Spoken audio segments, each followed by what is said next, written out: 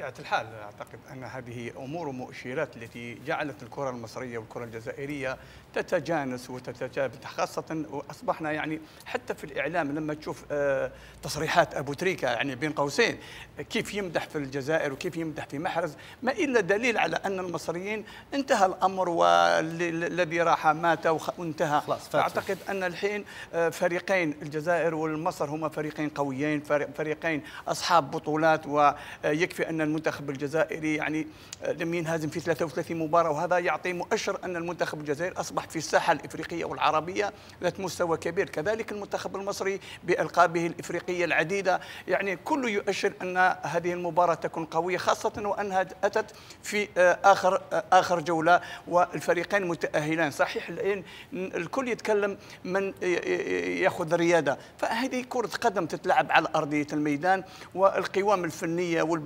والبدنية والذهنية هي التي تكون المصير الأول. أمنيتي أن الجماهير تساند كل كل جمهور يساند فريقه آه، في حبية في أخوية وفي إطار الروح الرياضية لإعطاء للاعبين الذي هم في مسرح المباراة. تقديم كل ما لديهم في هذه المباراة ولما لا امتعنا بأهداف عديدة وكذلك آه، شوق في آه، هذه المباريات. فأعتقد أن منتخب مصر والجزائر لديهم حظوظ للوصول إلى أقصى درجة في هذه البطولة.